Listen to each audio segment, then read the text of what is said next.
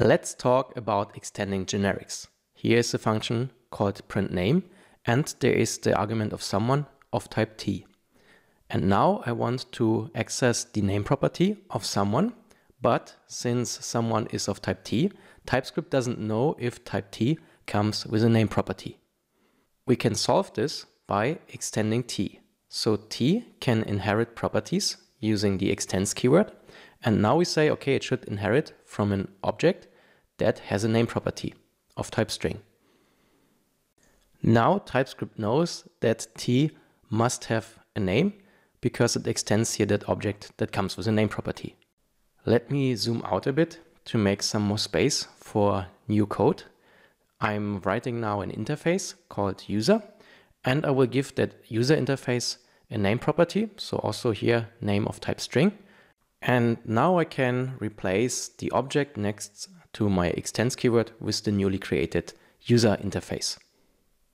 Let's test our code. So I will create a new constant called Benny. Benny will be a user and that user then must uh, get a name. So I will call Benny Benny and then I can use the print name function and I can insert Benny here as the parameter. What we can see now is that Benny is of type user and the return value from that function call will also be of type user. So that is because the someone is of type t and the return value is also of type t. So the value, the type that we put in is also the type that we get out. And this is what we see here in the uh, type argument inference. Yeah, TypeScript inferred the t by itself because it knows that the input is of type user. So it knows that our t is also then of type user. And that's called type argument inference.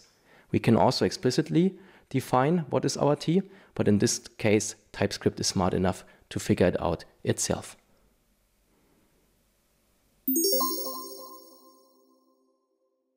I will show you now why I'm using a T-Rex to show generic inheritance because T extends user, but this just means that it extends um, the properties from the user interface. So I don't have to necessarily give it a user interface. I just have to provide something that also has these properties. So for example, if I have a T-Rex interface and this T-Rex interface then also has a name of type string, then the condition is fulfilled. Yeah, because T inherits all the properties from user, which are names. So I can use my function also with, for example, a dino. I uh, will have a dino that is a T-Rex and that T-Rex uh, I will just call Rexy. And Rexy will be also okay to be used with this print name function. If I pass in now Rexy, then the T will be inferred to be of type T-Rex. And what I then also get back is a T-Rex and my generic function is then proven to work with generic types.